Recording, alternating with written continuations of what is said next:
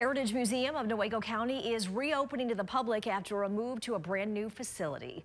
That museum just completed a two-year, $1.8 million renovation and expansion. Museum leaders say there will be all revamped exhibits in a space that's said to be double the size of the museum's previous building. The exhibits will be focusing on Newaygo's local history, including logging, farming, and Native American chores. The museum will also debut an exhibit called Stitches in Time about the history of fashion and sewing. Museum's executive director talked to us about just how hard people in the community have been working to make it all happen. The volunteers and staff have been working overtime to try to get the new facility ready.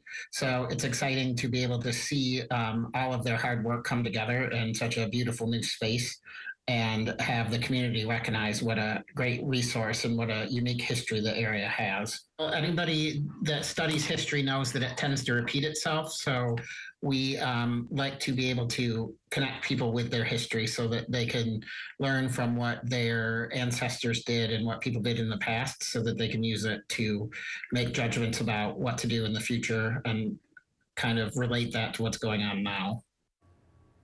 And if you want to check it out, the museum is hosting an open house this Saturday from 1 to 4. And then the museum's regular hours will be Thursday through Saturday from 11 to 4.